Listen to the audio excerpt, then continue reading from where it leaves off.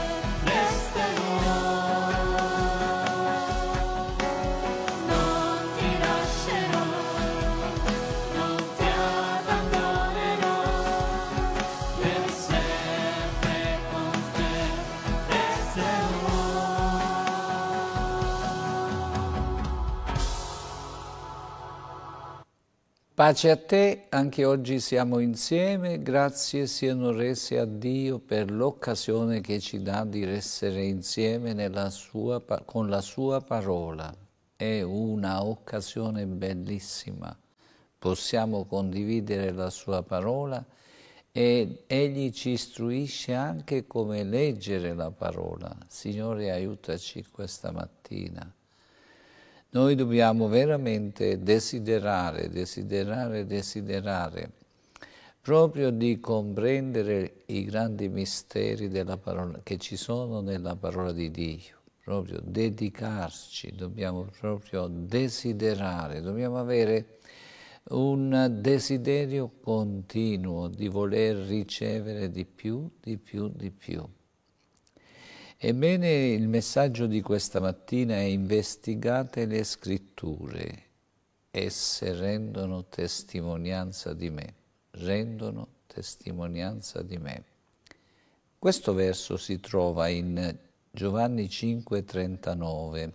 Voi investigate le scritture perché pensate d'aver per mezzo di esse vita eterna. Esse sono quelle che rendono testimonianza di me.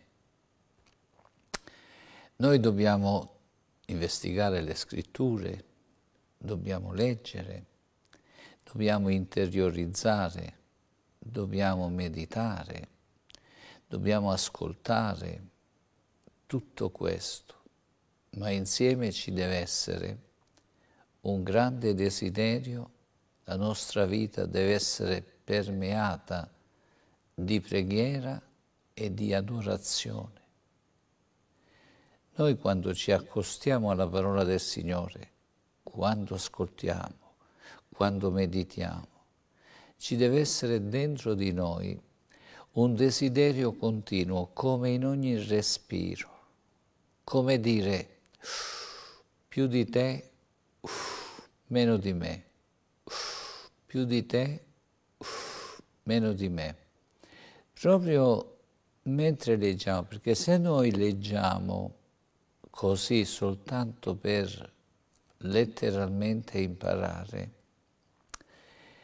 La parola uccide, dice la scrittura. Che vuol dire? Vuol dire che diventiamo degli esegeti così crudi, così freddi, che leggiamo e leggiamo e leggiamo, ci riempiamo la testa ma il cuore non ne sa niente.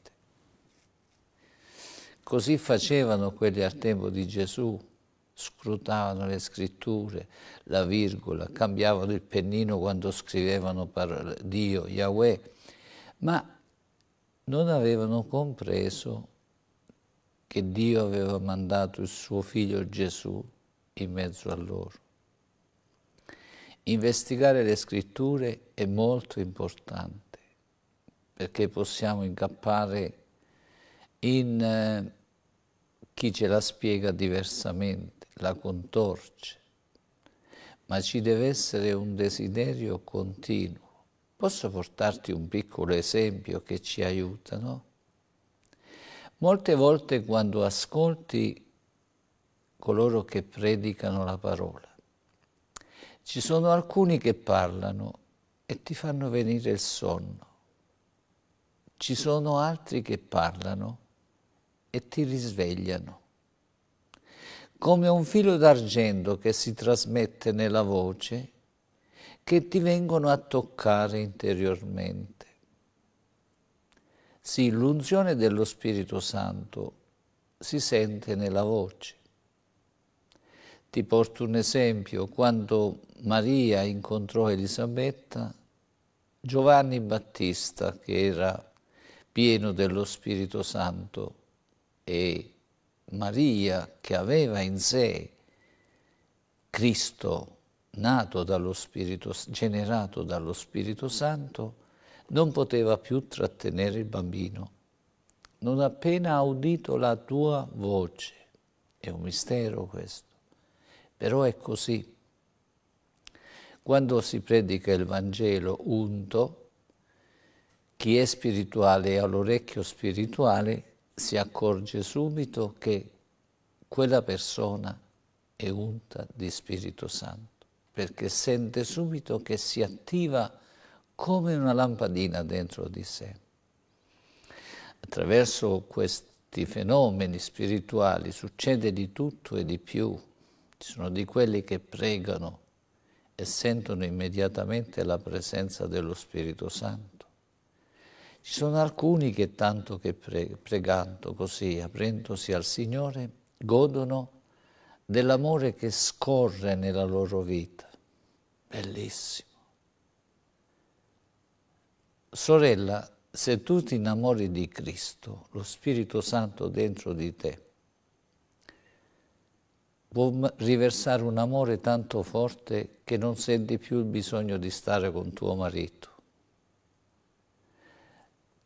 Ti scorre l'amore nelle parti sensibili, quando ti avvicini al Signore col cuore, ricevi proprio qualcosa di più di quello che può fare tuo marito. Tu dici esagerato, ti posso dire che questo succede. È meraviglioso. Sì, sì. San Paolo dà una panoramica a quelli troppo spirituali nella chiesa di Corinto, dice, quando non state insieme per motivi di preghiera, ma poi non vi rifiutate di avere rapporti tra di voi, perché l'altro potrebbe soffrir, soffrirne, perché quando lo Spirito Santo comincia ad operare in un cuore, fa scorrere l'amore, addirittura puoi ricevere l'orgasmo come quando hai un rapporto con tuo marito. È meraviglioso questo. È chiaro che nella Chiesa non è che ti vengono a dire queste cose, però te lo posso dire perché lo so. Mentre si prega, succede a distanza, può essere da qui in California dove ci troviamo, non ha importanza, perché è meraviglioso, lo Spirito Santo è grande. Ora, qual è la differenza tra il leggere ed avere l'unzione o leggere come i farisei? I farisei leggevano, studiavano, ma non riconoscevano Gesù, spiritualmente erano spenti. Beh, ti posso portare un piccolo esempio. Quando ti trovi vicino a un fumatore, senti una puzza di fumo che non finisce mai. Come fa per, per puzzare così? La chiamo puzza, poi gli inglesi la chiamano odore, perché è puzza. Perché quando fuma la sigaretta, respira il fumo, si impregnano i polmoni e di conseguenza nel fiato quando passi, quando ti viene vicino, ecco qua, ci siamo. Qualche volta è successo che sono stato con fumatori, anche se non fumavano. Sono tornato a casa mi ha detto mia moglie, ma puzzi di fumato. Ho detto sì, scherzando adesso ho incominciato a, cominciato a fumare un'altra volta. Sono 57 anni che non fumo più, eh, scherzando. Ora l'esempio vuol dire che quelli che puzzano così, in, ispirano il fumo perché secondo loro se lo devono gustare tutto. Ora questo esempio ti aiuta a comprendere quelli che leggono la parola e predicano, leggono con la mente solamente, investigano le scritture, le date, dove Gesù è nato, quando è nato, tutte queste cose, che poi si trovano un sacco di contraddizioni. E il diavolo la fa da padrone in questo caso. Sai perché? Perché quando tu leggi un commento o l'altro, l'altro l'uno, trovi delle differenze, trovi dati diversi, perché gli storici fanno così. E allora il dubbio aumenta e il diavolo ride. Se invece tu quando leggi la parola permei la tua vita di voler ricevere la parte spirituale, allora stai con uno spirito di preghiera quando leggi, quando ascolti, quando mediti, interiorizzi, ma stai sempre col cercare, fammi comprendere, fammi comprendere, ti voglio Spirito Santo, ho bisogno di te, riempi la mia vita, più di te, Signore non comprendo questo, dammi luce, fammi comprendere.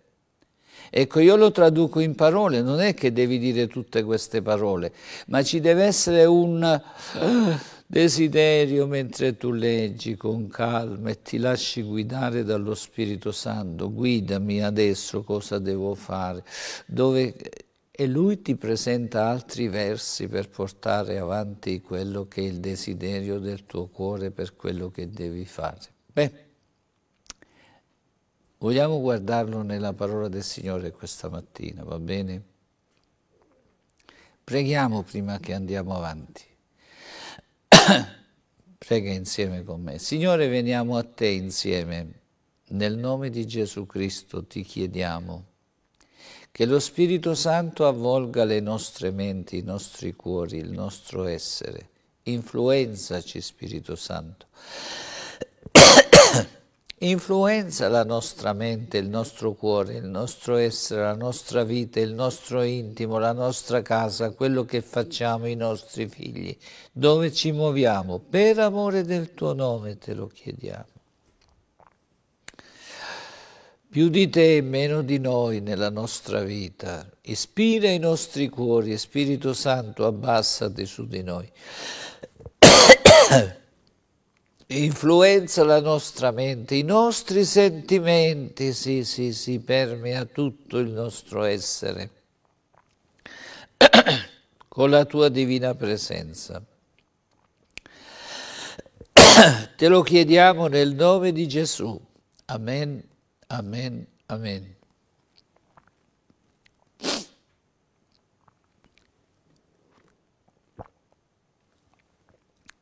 Leggiamo questo verso un'altra volta, Giovanni 5,39.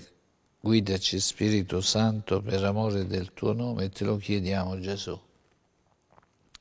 Voi investigate le scritture perché pensate per mezzo di esse avere vita eterna ed esse sono quelle che rendono testimonianza di me. Ma per avere vita dovete venire a me la parte letterale resta stabile, la parola vola, lo scritto serve per avere qualcosa di importante. La scrittura ci serve perché è unica ed è per tutti. Però poi essa viene alimentata e ci fa vedere oltre, ci fa vedere la parte spirituale.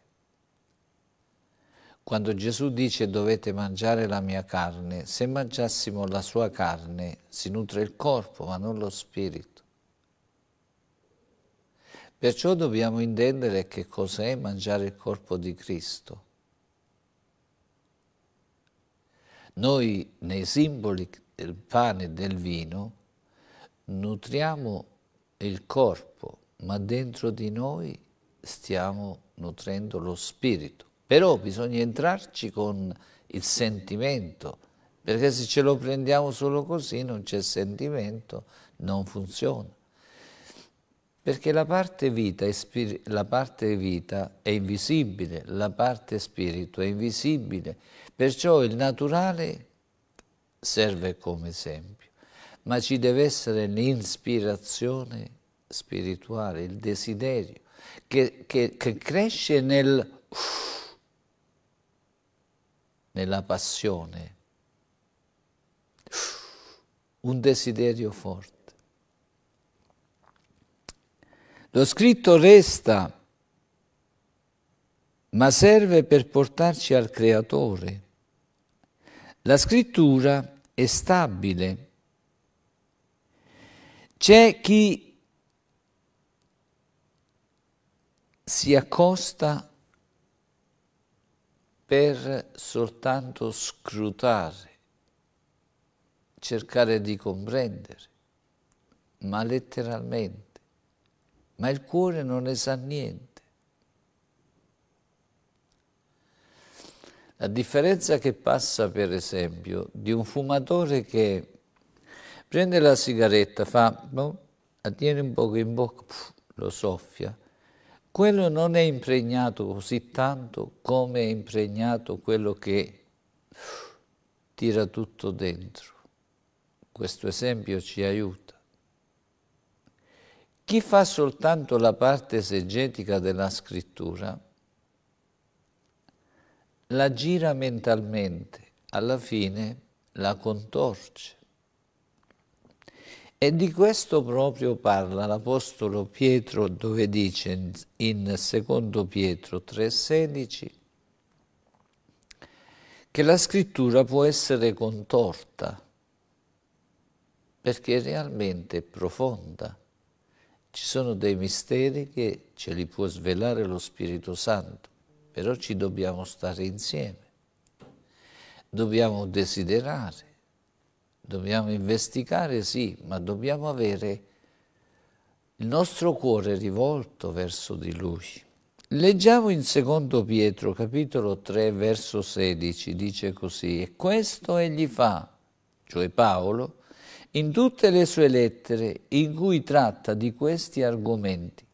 In esse ci sono alcune cose difficili a capirsi, che gli uomini ignoranti e instabili travisano a loro perdizione come anche le altre scritture.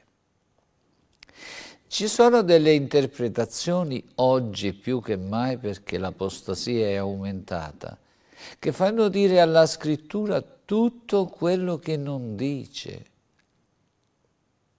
Signore aiutaci. E allora non basta leggere le scritture, Abbiamo bisogno di conferme che vengono da parte dello Spirito Santo che quella è, quella è, perché poi ce lo collega insieme ad altre cose e comprendiamo il filo logico di quello che stiamo leggendo, di quello che stiamo esaminando e del canale che stiamo, sta, stiamo seguendo, perché non è che la, la, completiamo tutta in una volta. Ogni giorno ti, ci dà un link, un tracciato che ci aiuta per la formazione nostra spirituale. Falsi profeti, maestri religiosi, perciò dobbiamo andare a Gesù. Mentre leggiamo, il nostro cuore deve essere rivolto a Lui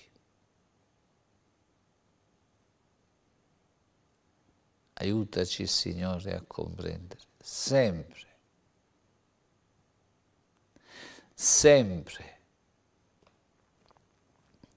In Giovanni 5,40 dice così, eppure non volete venire a me per avere la vita. Allora, forse portavano tutti i rotoli quando Dovevano parlare con Gesù. Gesù era lì. Se leggiamo il 39 e 40, guardiamo la scena, lasciamo funzionare anche la nostra immaginazione. Leggiamo un'altra volta.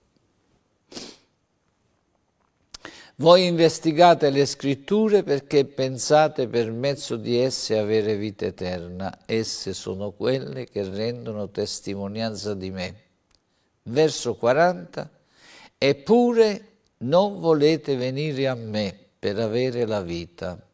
Beh, esaminare le scritture è normale e lo dobbiamo fare, però il sentimento è quello che non funziona. Notiamo qual è la differenza tra il capitolo 17 degli Atti degli Apostoli nel verso 11 e 12. Questi anche investigano le scritture. Dov'è la differenza? Leggiamolo insieme. Or questi erano di sentimenti più nobili di quelli di Tessalonica, perché ricevettero la parola con ogni premura, esaminando ogni giorno le scritture per vedere se le cose stavano così. Molti di loro dunque credettero e così pure un gran numero di nobili donne greche e di uomini. Beh, qui abbiamo due categorie, scribi e farisei e credenti. Questi non crede, quelli negli atti non credevano, ma credettero e fecero professione di fede. Il Signore li salvò perché Paolo stava dicendo, il suo, il suo messaggio era questo, che Cristo è il figlio di Dio che è venuto, ha dato la sua vita come prezzo di riscatto, si è sostituito a noi, se tu lo ricevi nel tuo cuore senti immediatamente il perdono dei peccati questi avevano un desiderio nel cuore, scrutavano le scritture, esaminavano le scritture, ma c'era la predisposizione dentro. Se non abbiamo quella dentro, Ecco gli altri che cosa fanno. Il 39 e 40 degli scribi e farisei Gesù dice voi portate pure i rotoli, venite qua per insegnarvi, per dire perché lo volevano sempre prendere in trappola, però poi alla fine io sono la sorgente della vita, ma non venite a me, restate nelle scritture, diventate soltanto dei letterati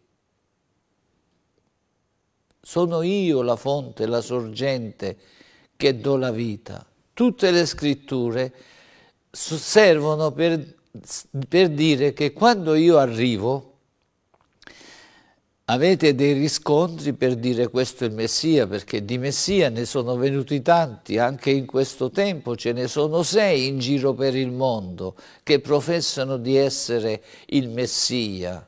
Ce n'è uno che ha pure la moglie e professa che è la reincarnazione di Maria Maddalena. E lo professano così. Hanno tanti, tanti, che, tanti che lo seguono. Come facciamo a distinguere? Perché noi crediamo che Gesù è il Cristo? Perché secondo le scritture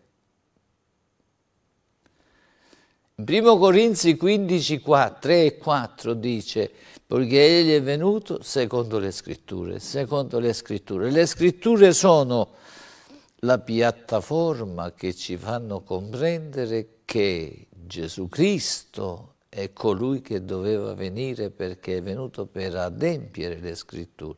Leggiamo 1 Corinzi 15, 3 e 4, forse leggiamo, possiamo leggere. Gloria sia resa al Signore. Primo Corinzi 15. Poiché vi ho prima di tutto trasmesso, come l'ho ricevuto anch'io, anch'io, che Cristo è morto per i nostri peccati secondo le scritture.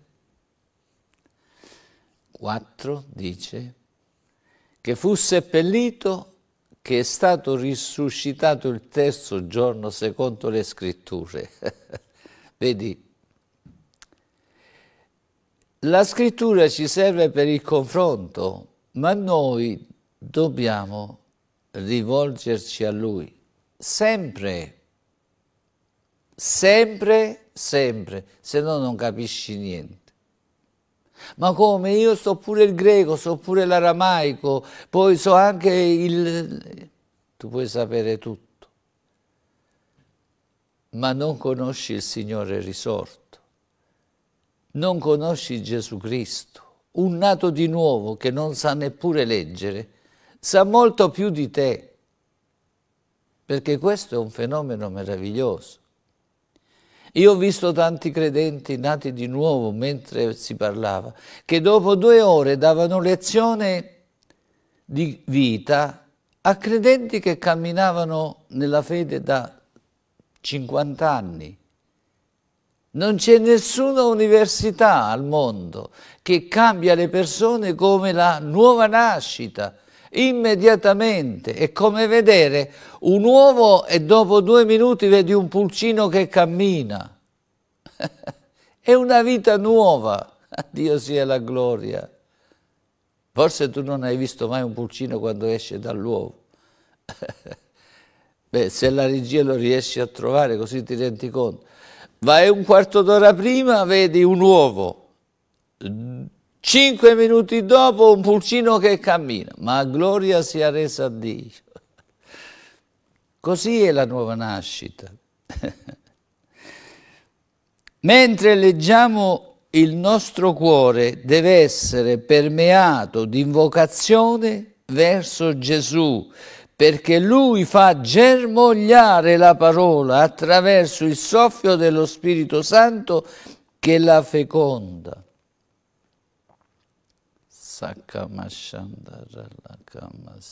Se non leggiamo solamente, ci riempiamo la testa, la mente, ma quella la mente mente, poi ce lo traduce come vuole Lui.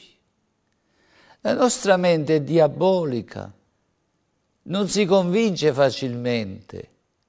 Tanto è diabolica che se tu leggi che lo Spirito Santo ha adombrato Maria e è nato Gesù, la mente nostra dice no, quello si è fatto una scappatella con Giuseppe e poi ha detto che è stato lo Spirito Santo.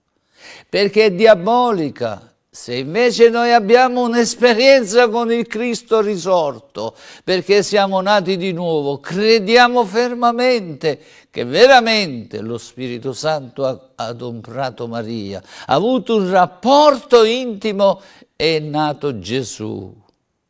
Alleluia, gloria al Signore. Noi se prendiamo solo la parte letterale e non abbiamo quella spirituale, non riusciamo a convincerci, perché non siamo capaci di convincere noi stessi.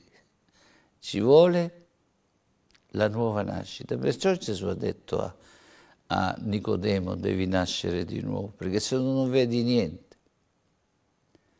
Se il pulcino non nasce, se lo trova la regia te lo faccio guardare. Se il pulcino non nasce non sa niente che c'è fuori nel mondo. Come nasce? più più più più, comincia a correre sotto la mamma e si capiscono. Eh? Signore aiutaci.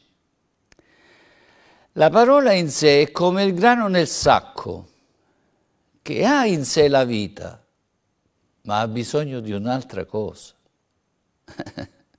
il vento c'è una preparazione. Il vento che soffia e disinfetta la terra, il vento ossigena il terreno. Quando lo tiri dal sacco, lo butti nel terreno, ossigenato dal vento, comincia a germogliare, feconda e diventa... Se invece non c'è il soffio del ossigenazione che fa il vento non, non nasce.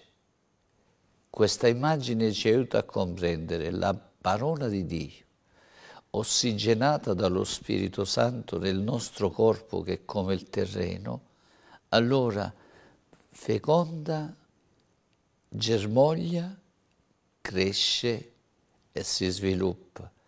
È il seme della fede il regno dei cieli è simile a un granel di seme, di, di, di, di, senape, messa in un vaso. Metti un seme, cresce una pianta. Così fa la parola di Dio. Ma se noi non abbiamo la parte spirituale che la feconda, che la leggiamo, facciamo la fine dei studiosi del tempo di Gesù e di studiosi ce ne sono tanti anche oggi. La dobbiamo studiare, ma dobbiamo avere il nostro cuore, andare a Gesù. Il verso 40 ci, dice, ci dà l'indirizzo esatto come quando, quando leggiamo, quando meditiamo, quando ascoltiamo la parola. Leggiamo il verso 40 del capitolo 5. Quelli volevano leggere, ma non capivano. Leggiamo per un attimo il verso 40, dice così. Eppure non volete venire a me per avere la vita. Gesù è la vita. La parola ci serve a conferma che le cose stanno così e Lui ci salva. La parola produce la fede e andiamo a Lui. È come questo bigliettino da visita, che c'è l'indirizzo sopra per avere un prestito. Leggo, ma il bigliettino non mi dà il prestito, mi dà l'indirizzo da chi devo andare, devo parlare con l'interessato. Signore aiutaci. Il vento ossigena il terreno e il grano germoglia. Leggiamo insieme, è un concetto bellissimo, leggiamo in Giovanni 3,36. Questi, questi principi dobbiamo applicare nella nostra vita, se no non cresciamo mai. Chi crede nel figlio, chi ha fiducia nel figlio, chi si affida al figlio, chi riversa la sua fiducia in lui, chi accetta tutto quello che Gesù dice, ha vita eterna. Chi invece rifiuta di credere il figlio non vedrà la vita, ma l'ira di Dio rimane su di lui. Perché noi siamo figli di ira, siamo peccatori, l'ira di Dio è sopra di noi perché abbiamo sbagliato. Come un genitore che il figlio ha sbagliato, si è venduto tutto, si è giocato tutto ha amore per il figlio, però il figlio deve ammettere che ha sbagliato. Invece quello vuole pure ragione. Come Adamo dice, guarda, la donna che tu mi hai dato ha fatto sta cosa. Come dire, ma tu se non me la davi io non avrei sbagliato. E come, pro, come proliferava i figli? Dio gliel'aveva data perché doveva riempire la terra. Faceva tutto lui come l'LGB di adesso, l'LGBT, fanno tutto le donne e le donne, gli uomini e gli uomini. Che massacrazione della parola di Dio, questo è un peccato che bisogna dichiararlo, perché come si fa? È una trasgressione, è un'opposizione a Dio proprio che non se ne può più, anzi ti voglio dire, quando ci sono le votazioni, se sei un cristiano, quelli che cacciano queste leggi non devono governare, senza mezzi termini, perché? Perché sono contro quello che dice Dio, o siamo per Dio o non ci siamo. Non è questione di destra-sinistra, non mi interessa proprio la politica, mi interessa di dire che Dio dice che il matrimonio si fa così e invece questi storti storti, li dobbiamo dire, Gesù dice, Dio dice che lo storto dice in cuor suo, perché questi non credono in Dio. E se ci credono e lo fanno, peggio ancora, Signore aiutaci. Chi si affida, chi confida, chi... Leggiamo il verso perché abbiamo tirato fuori qualcosa che ci ha distratto, leggiamolo un'altra volta così non perdiamo il filo. Chi crede nel Figlio ha vita eterna. Chi si affida, chi confida, chi si alimenta da Lui. Chi no ha l'ira di Dio, perché noi siamo figli di ira. Gesù è il punto di svolto, di svolta di noi, per noi, o Lui o l'ira di Dio. Fratello, mi sembri un po' duro questa mattina, ma così dice la parola e così è e lo guardiamo insieme. Signore, aiutaci. Ho l'ira di Dio. Dio ha mandato Gesù proprio per evitare questo. Nel verso 16 dello stesso capitolo, del, del capitolo 3, sì, dico bene, Dio ha tanto amato l'essere umano che ha dato il suo unigenito, unico del genere, affinché chiunque crede, chi si affida a Lui, chi crede che Lui è venuto da Dio, chi crede che Lui è il Salvatore, chi crede che Lui ha la vita eterna, chi crede che Lui è la via, chi crede che Lui è la porta, chi crede che Lui è la vita e la risurrezione, abbiamo vita, eterna. Per evitare l'ira di Dio Gesù è venuto non per, farci, per non farci incappare nell'ira di Dio. E questo dice il verso 17. Perciò noi abbiamo bisogno di leggere di più la parola, aprire il cuore a Cristo. E poi mi chiedo, con tutto quello che ha fatto Cristo per noi, noi cristiani, avremmo bisogno di portare tutte queste Madonne, oggi tutti i santi, ne abbiamo, ne abbiamo uno, uno, al giorno, in ogni paese uno moltiplicato per tutti i paesi, poi visto che non bastano i giorni, abbiamo anche il giorno di tutti i santi, questa è l'esagerazione dell'idolatria che non sono bui, non sono, non sono, vacche, non sono animali, non sono leoni, sono a forma d'uomo, ma Dio dice che tutto è l'idolatria. Leggiamo il verso 17. Infatti Dio non ha mandato suo figlio nel mondo per giudicare il mondo, è stato giudicato lui al nostro posto, ma perché il mondo sia salvato per mezzo di lui. È stato giudicato lui senza dargli la possibilità di dire niente, perciò Gesù stava zitto, perché la notte i sacerdoti complottarono che cosa dovevano fare e il giorno perché non lo potevano fare di notte, portarono già il piatto fatto già, dicendo a chi doveva presiedere è già fatto, non c'è bisogno di testimoni. Noi abbiamo giudicato il figlio di Dio. Gesù è nato dallo Spirito Santo, ha vissuto la sua vita santa ed è l'agnello che toglie il peccato. Questo era secondo le scritture più volte, ma lo possiamo leggere in Isaia 53, 7. Meraviglioso sei, Signore Gesù, Isaia 53,7 dice maltrattato si lasciò umiliare e non aprì la bocca. Come l'agnello condotto al mattatoio, come la pecora muta davanti a chi la tosa, egli non aprì la bocca. L'agnello, l'agnello è l'unico animale che non si ribella. Lo so perché li ho avuti quando ero piccolo Già prima i nostri genitori ci compravano un agnellino per farlo crescere, ce lo portavamo dietro nei campi, davamo, lo curavamo. L'agnello lo puoi portare fino all'uccisione, viene come se fosse niente. Se prendi un maiale non, ci vogliono dieci persone per prenderlo, se prendi un vitello non ne parliamo qualsiasi animale si ribella. L'agnello lo porti, si mette lì, come dire tagliami la testa. E così Gesù. Perciò si dice l'agnello.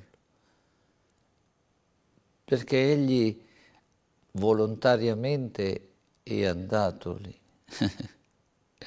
L'agnello, l'unico animale che non si ribella, il maiale, il vitello, è l'agnello mandato da Dio. Dio ha tanto amato il mondo che ha mandato il suo figlio come un agnello. È cresciuto puro e santo, è mandato come quell'agnello che salvò Isacco, che fu sostituito. Dio disse ad Abramo, fermati, non uccidere Isacco. Eccolo qua l'agnello ingarbugliato spina, nelle spine. E così Isacco se ne tornò a casa vivo. In Giovanni 1,29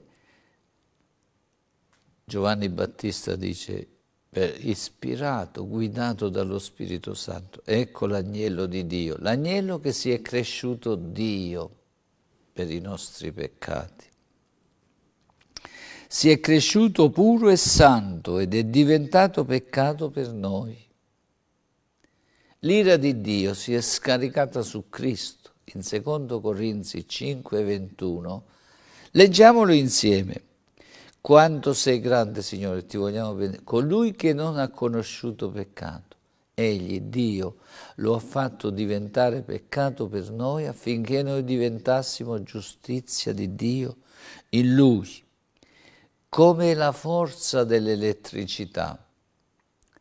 L'ira di Dio è come una potenza, una potenza dell'energia elettrica, questi tralicci che passano, che portano 200 volt, 400, 500.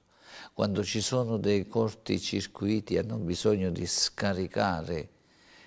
L'ira di Dio si è scaricata su quel palo, su quella croce. Come la forza della corrente va a scaricare sul parafulmine che colpisce solo l'asta, Così l'ira di Dio, la nostra eh, che aveva in verso di noi, si è scaricata su Cristo. Quando è passata la scarica dell'ira di Dio su Cristo, nel capitolo 27 di Matteo leggiamo, verso 46, e verso l'ora nona Gesù gridò a gran voce, Eli, Eli, lama sabachthani, cioè Dio mio, Dio mio, perché mi hai abbandonato? Quando passò il peccato ha causato per un attimo la separazione da Dio, lui nato dallo Spirito Santo, la parte spirituale fin dal concepimento era stato sempre in comunione con Dio perché lo spirito non muore, veniva alimentato sempre. La parte fisica si formava insieme all'anima nel corpo di Maria, ma lo spirito non si staccava da Dio perché è l'unica alimentazione, lo spirito non muore, se era nato dallo spirito aveva in sé lo spirito. È come alimentazione per lo spirito, ciò che è carne è carne, ciò che è spirito è spirito. La parte naturale si alimentava dal corpo di Maria, la parte spirituale si manteneva armonizzata con eh, lo spirito di Dio. Se no, se moriva lo spirito di Dio dentro di lui, che non può morire lo spirito, sarebbe morto Gesù. Aiutaci, Signore. Solo qui si staccò. Solo quando Gesù diventò peccato, in quel momento si sentì abbandonato, perché realmente è come una scarica elettrica che per un attimo quando passa stacca il contatore e dopo si, lo, lo si rialza finché lui mise il suo spirito, il suo spirito, nelle mani del Padre. Nel, in Matteo 26, 39 parla del calice, leggiamolo insieme. 26, 39 è andato un po' più avanti si gettò con la faccia a terra pregando e dicendo Padre mio, se è possibile, passi oltre da me questo calice, ma pure non come voglio io, ma come tu vuoi. Il calice era per lui l'ira divina per salvare noi. In Giovanni 18, 11, quando Pietro gli voleva evitare di bere il calice dell'ira di Dio, tagliò l'orecchio al servo del sacerdote che lo voleva difendere. Ma Gesù in Giovanni 18, 11 disse, ma Gesù disse a Pietro, rimetti la spada nel fodero, non berrò il calice che il Padre mi ha dato? Qual era il calice? Il calice dell'ira di Dio che lui doveva bere. Pietro non aveva capito, lo voleva difendere. Non berrò il calice dell'ira di Dio contro il peccato, così lui ha bevuto l'ira per no e per noi. E il calice per noi è il calice della benedizione. In primo Corinzi 10,16 dice il calice della benedizione. Questo, questo calice che lui parlava è il calice dell'ira di Dio, separato da Dio a causa del nostro peccato e dal calice ne scaturisce la benedizione per noi. Alleluia, alleluia, alleluia. Leggiamolo insieme, il calice della benedizione, che noi benediciamo non è forse la comunione con il sangue di Cristo, il pane che noi rompiamo non è forse la comunione con il corpo di Cristo? E in Luca 22, 17 è proprio lì che lui fa questa opera di travaso che nella Pasqua c'erano quattro calici che dovevano bere, il primo aveva un significato, il secondo aveva un altro significato, il terzo aveva un altro significato e lui questo significato lo prende per noi. Leggiamo 22, 17. Poi prese il calice e dopo aver reso grazie disse prendetelo questo e prendete questo e distribuitelo fra di voi, proprio come che devo dire prendere un bicchiere grande, quello col manico, noi la chiamiamo ciarla, una ciarla di vino eh, che dice la massa ce l'aveva lui nelle mani. Per lui era il bicchiere grande che aveva bevuto dell'ira di Dio che era il nostro peccato e dice distribuite la benedizione a voi a causa del nuovo patto nel mio sangue. che bello! Bicchiere col manico in bicchieri piccoli, leggiamo nel verso 20. Gloria sia resa a Dio, ma che sei grande, Signore, ti vogliamo benedire. Allo stesso modo, dopo aver cenato, diede loro il calice dicendo, questo calice è il nuovo patto nel mio sangue che è versato per voi.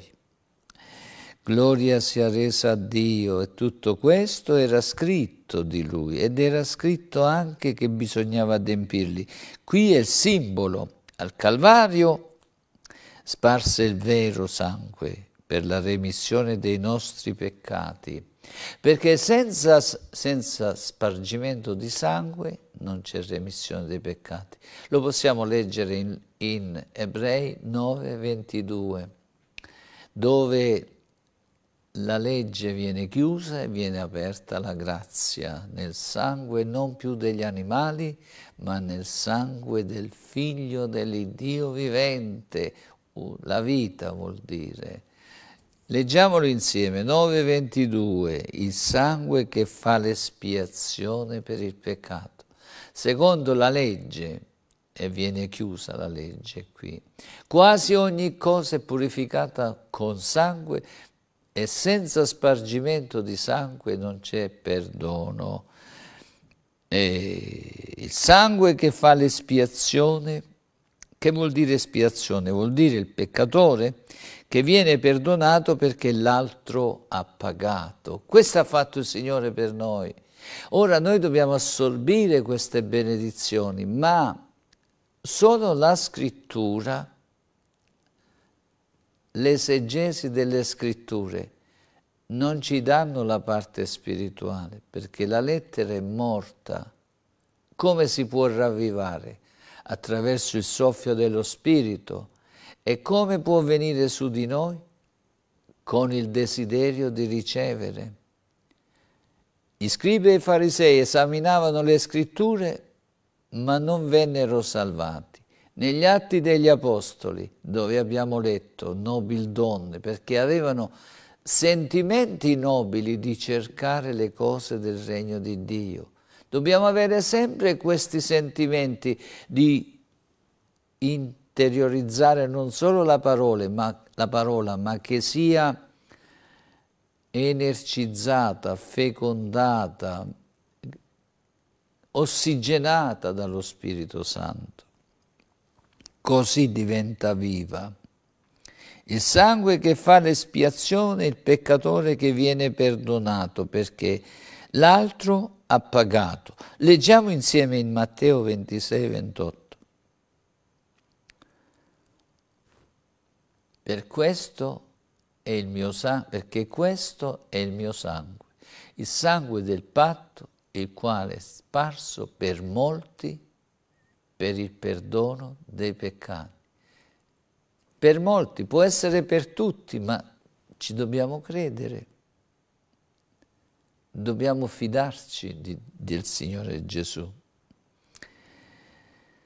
Non è l'animale che muore qui, è l'agnello di Dio che abbiamo letto in Giovanni 1,29. Ecco l'agnello di Dio che toglie il peccato del mondo tutti gli animali, miliardi di sacrifici fatti prima coprivano il peccato in vista di colui che doveva venire che col suo sangue lo purificava e il suo sangue ci purifica da ogni peccato. Lo dice in primo Giovanni 1, 9 o 7, 1, 7 pure, però. E ci è, ci ha a noi ci ha ordinato quando riceviamo questa grazia di Dio nella nostra vita, che dobbiamo proclamare in Luca 24, 47, andate e proclamate questa notizia, che chi viene a me, io ho fatto già l'espiazione, io ho dato la mia vita, ho assorbito l'ira di Dio, la scarica dell'ira di Dio nella mia vita, per dare a te la vita, per dare a te la benedizione. Ora leggiamo 24-47, è importante perché noi abbiamo un ruolo molto importante, noi credenti. Dobbiamo annunciare queste cose. Se noi non le annunciamo, come fanno a sapere le persone che Cristo ha pagato tutto il prezzo? Sai quante persone sentono il peccato e non sanno come venirne fuori e fanno voti di qua, voti di là, pellegrinaggi, non sanno che devono fare per sentire la liberazione, mentre il Signore ti può liberare adesso mentre parliamo, perché Lui è presente attraverso lo Spirito Santo, fa un'opera potente nella tua vita, anzi se ti rivolgi a Lui, Lui ti salva in questo momento, ma quella è misteriosa la salvezza, è proprio come ho detto il pulcino, che a un momento Lui si trova fuori ed è, ed è lì, è uscito fuori, è venuto fuori. Vedi, adesso quello è, è bello vederlo, se tu vai su internet, non la, non la regia, ma lo dico a te che sei a casa, vai su internet e guarda come, come, becca, come becca vicino quando comincia a mettere la testa fuori, comincia lui stesso a beccare il guscio che si apra. È un po' fresco stamattina. Cambiata la temperatura e la gola è già soggetta a queste cose. Signore, grazie. Ora, come ci nutriamo dalla parola? Abbiamo letto, voi investigate le scritture perché pensate d'aver per mezzo di esse vita eterna. Esse sono quelle che rendono testimonianza di me.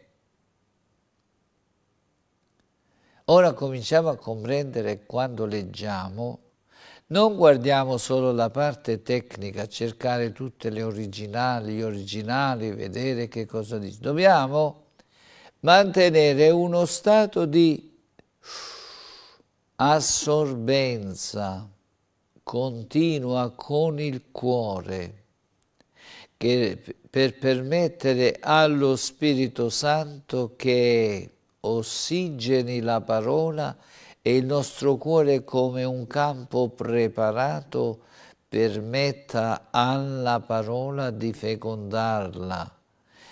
Perché la parola del Signore diventa anche pioggia, c'è l'immagine della pioggia, che mentre noi assorbiamo la parola, essa porta pioggia nel nostro cuore, inumidisce il terreno che è eh, ossigenato dalla presenza dello Spirito Santo e il seme porta frutto porta fede. Alleluia.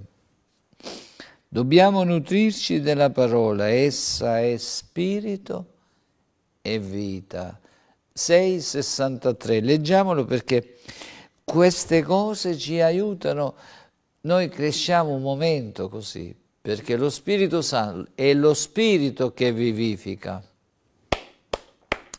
È lo Spirito Santo che vivifica, perciò noi dobbiamo ispirare, desiderare, bramare la sua presenza. La carne non ha alcuna utilità.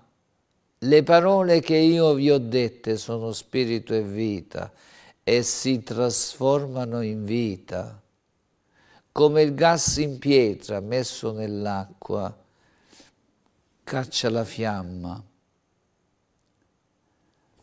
Signore aiutaci come il gas dalla bombola.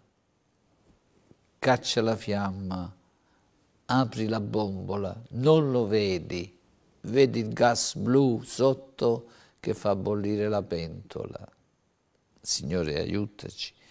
Dopo aver completato tutto al Calvario, ci nutriamo della parola, ma deve essere vivificata dallo Spirito.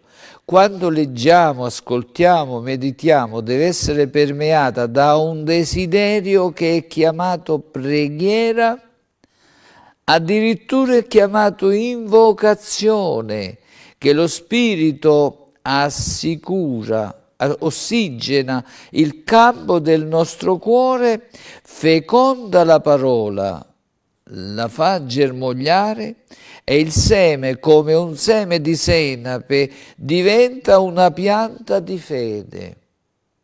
Così cresce il regno dei cieli nei nostri cuori. Leggiamo in Matteo 13, 31.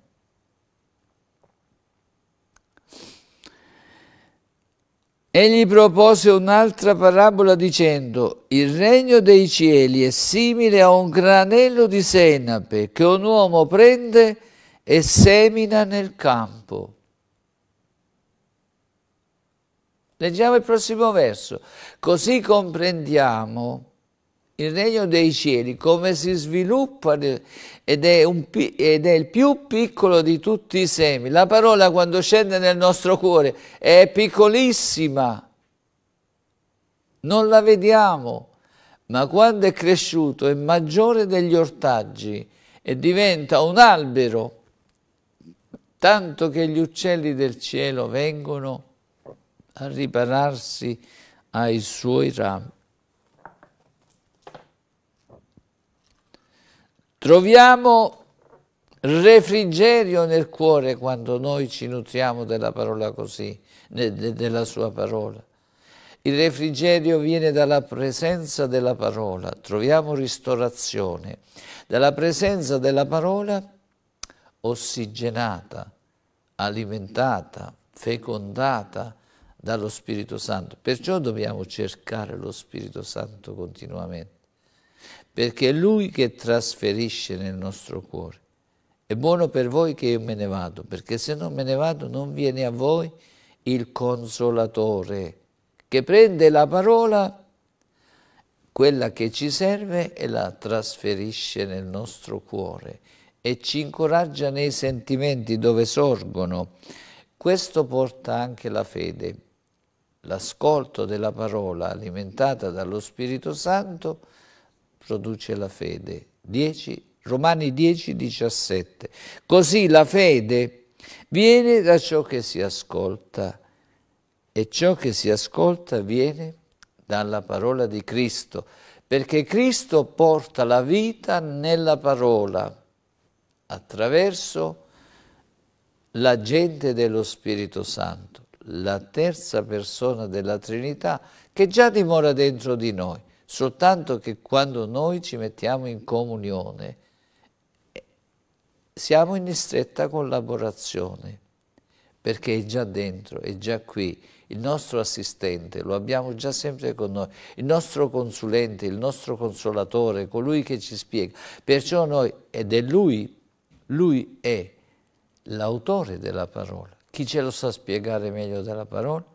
Perciò tutte le volte dico per cortesia, quando leggi la parola, togliti gli occhiali della tua religione. Io mi tolgo sempre gli occhiali della mia religione. Quante volte leggendo la parola ho quattro Bibbie che consulto ogni volta di origine diversa, proprio per comprendere il significato che lo Spirito Santo mi conferma. Quando ne ho bisogno, lo faccio, ma non mi lascio guidare dal commentatore, mi lascio guidare da ciò che lo Spirito Santo mi dice. Qualche volta che mi piace il commentatore perché è facile scrivere o capire meglio, mi dice ma tu vuoi seguire il commentatore o vuoi seguire me? Se tu mi chiedi di essere guidato da me, devi seguire me, non devi seguire il commentatore perché il commento non è quello che dice la parola. La parola è arricchita della presenza dello Spirito Santo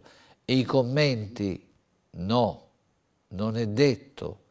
Dobbiamo avere la conferma da parte dello Spirito Santo, perché se restiamo in dubbio che non è quella, se io quando spiego una cosa ho il dubbio che non è quella e te la dico, sbaglio, perché tutto ciò che non viene da fede è peccato.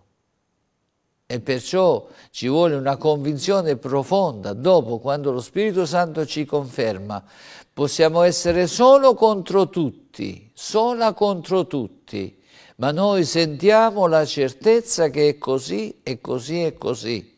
Per esempio io ho avuto una tentazione per un poco di tempo, quando pregavo in lingue, che mi sussurrava nella mente, tu perdi tempo, dici solo parole che non servono a niente. Ma un bel giorno lo Spirito Santo mi ha confermato dicendomi per scendere l'unzione nella tua vita devi parlare in lingue con tutto il cuore, non che ti metti, eh, parla solo, parlano le labbra e tu stai con la testa a un'altra parte. Questo è il modo che tu ricevi l'olio nel tuo recipiente. Dopo che lo Spirito Santo mi ha confermato il diavolo può venire con, sue, con tutti i suoi eserciti. Io ho la convinzione dentro di me che ogni volta che prego in lingue sta scorrendo l'olio della presenza dello Spirito Santo nella mia lampada. Alleluia. Perciò abbiamo bisogno della conferma dello Spirito Santo. E quando non ci conferma nel cuore, durante il nostro cammino nella giornata ce lo conferma attraverso qualcuno che predica, qualche passo che leggiamo, qualche radio evangelo che sentiamo, perché lo Spirito Santo non ci lascia mai, non so che devo fare, non so che devo dire. Perciò da questo momento, quando leggi la parola, fa ricerche, studiala, confrontala, ma non deve mancare dentro di te il desiderio di essere guidato dallo Spirito Santo.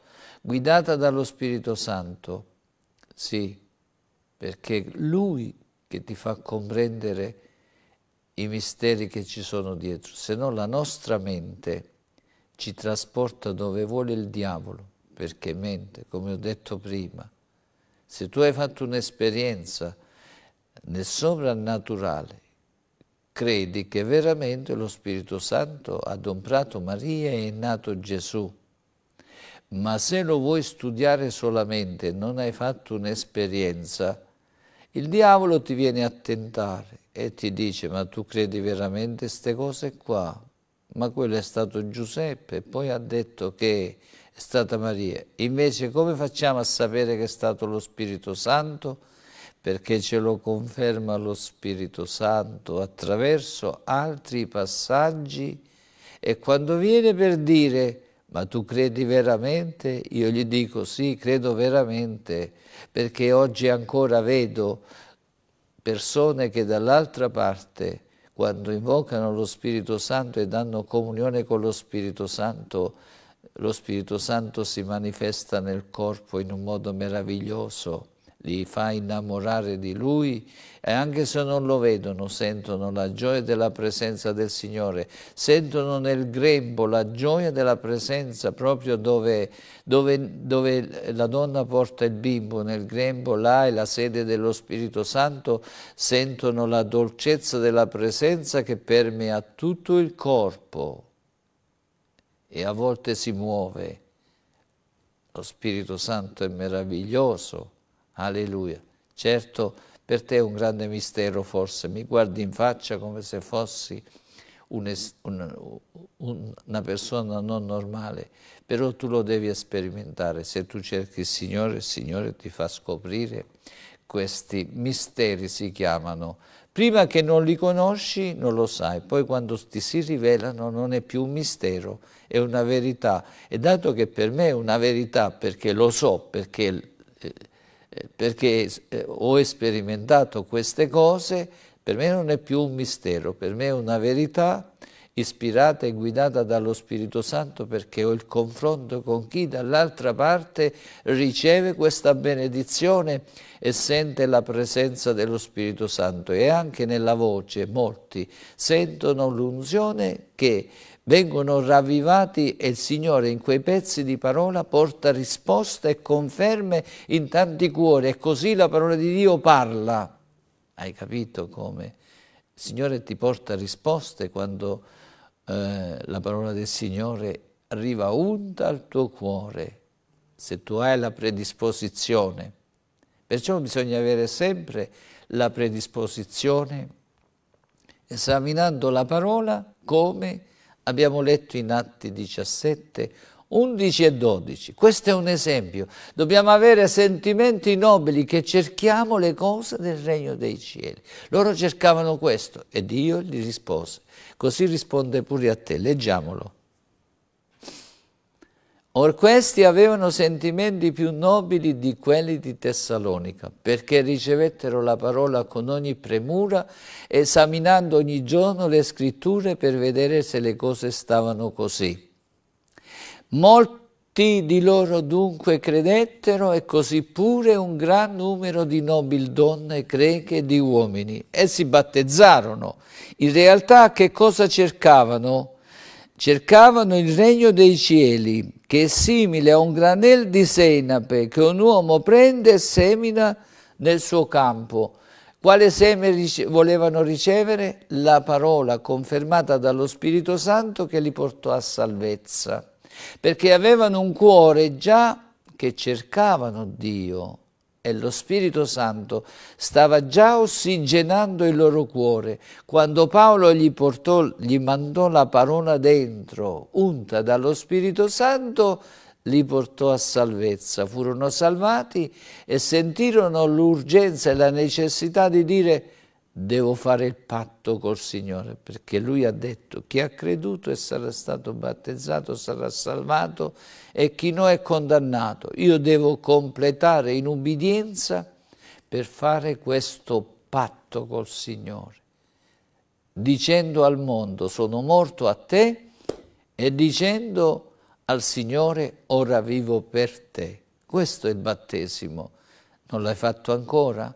Lo devi fare se credi. Se poi non credi, che aspetti non so che. Molti sono ridicoli.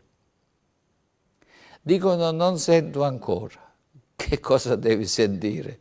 Tu devi sentire la parola del Signore. Se hai creduto lo devi fare e basta. Che devi sentire? Quello è un ordine del Signore. Che devi sentire? Non, non mi, sono, mi, sono, sempre chiesto chi mi risponde così. No, non, non sento ancora. 20 anni, 15 anni, 5 anni, 6 anni. Quando vediamo nel, nel, nella parola del Signore Cornelio, immediatamente tutti. Carceriere di Filippi, subito, la notte stessa furono battezzati, lui con la sua famiglia. Leonuco lungo la strada che andava, eh, Filippo finì, pace, pace, e lo Spirito lo rapì e lui continuò tutto allegro e i credenti moderni devono aspettare che devono sentire, che devono sentire. Signore aiutaci, trova una chiesa, vedi un poco dove devi andare di Signore io mi voglio battezzare. Signore aiutaci. Ma che bello l'Evangelo, ci fa gioire mentre lo amministriamo, perché la verità di Dio spunta come un fiore davanti a noi, porta freschezza, porta leggerezza, porta ispirazione, a Dio sia la gloria. Lo vogliamo ringraziare Signore, ti ringraziamo che anche oggi la tua parola ci ha parlato. Ti prego per la sorella, per il fratello, Signore. Dagli ispirazione, desiderio, dagli sentimenti nobili che quando si accosta alla parola vuole avere comunione con te, vuole sentire la presenza dello Spirito Santo, che vuole sentire la conferma dello Spirito Santo per vivere quello spazio che viene alimentato dallo Spirito Santo. Benedici il Signore, benedici benedici ognuno che siamo stati insieme. Sì, sì Signore, ti voglio benedire nel nome di Gesù Cristo, che lo Spirito Santo continui ad operare nella tua vita. Apriti al Signore, appropriati di sentimenti nobili per cercare Dio, che il regno di Dio si sviluppi dentro di te per onorarlo, benedirlo e glorificarlo senza fermarti fino al suo ritorno. Quando arriva, ce ne andiamo. Non, sarà, non starà molto tempo che torna e andremo con lui.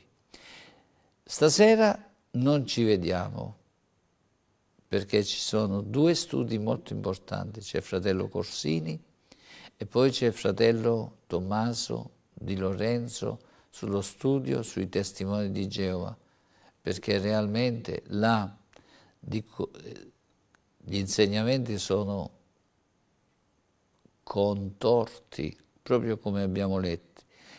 Qui dice così, che alcune, eh, in esse ci sono alcune cose difficili a capirsi, che gli uomini ignoranti e instabili travisano a loro perdizione, come anche le altre scritture.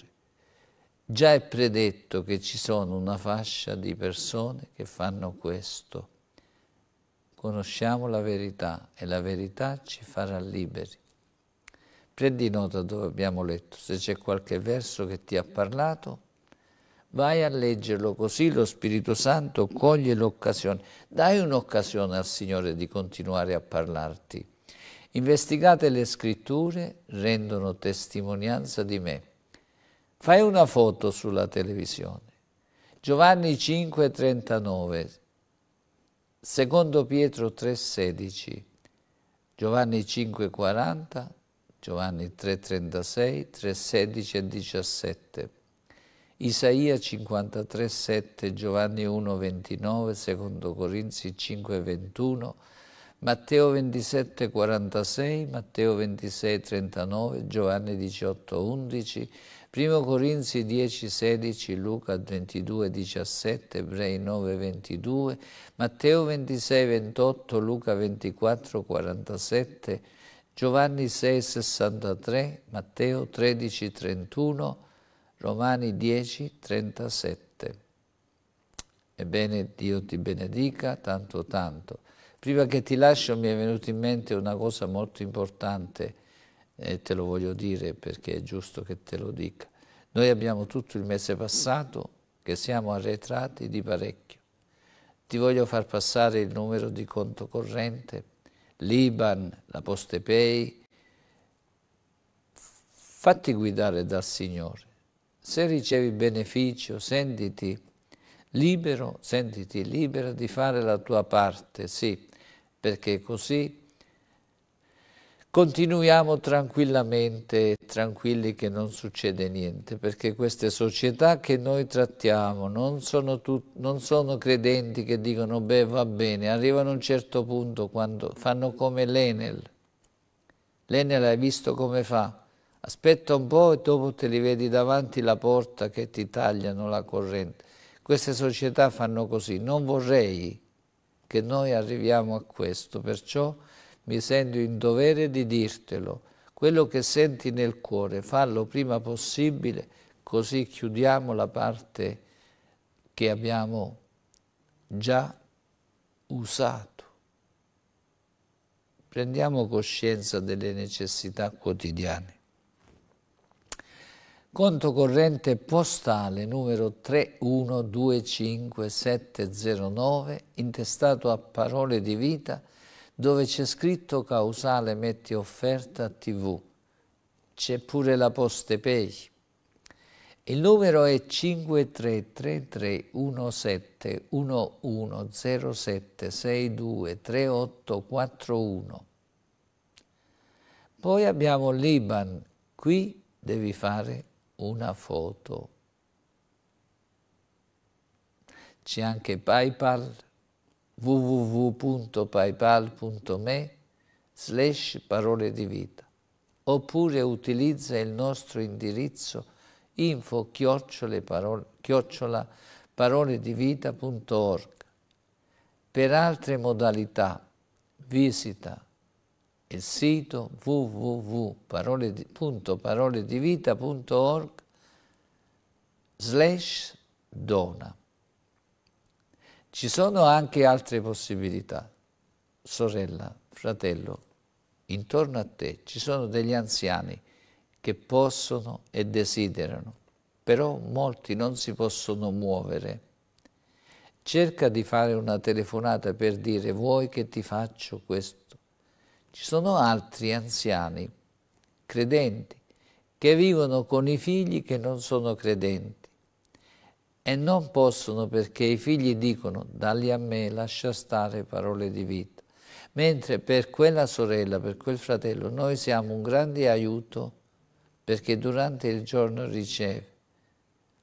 Valla a trovare e gli chiedi se ha desiderio, gli fai il piacere. Sorella, fratello che non ti puoi muovere, se hai un figlio credente, una figlia credente e non trovi sempre chi lo può fare, prendi il numero di conto corrente, glielo fai fare online, così un momento fa. Ci sono dei fratelli che devono aspettare, sorelle per dargli il conto corrente.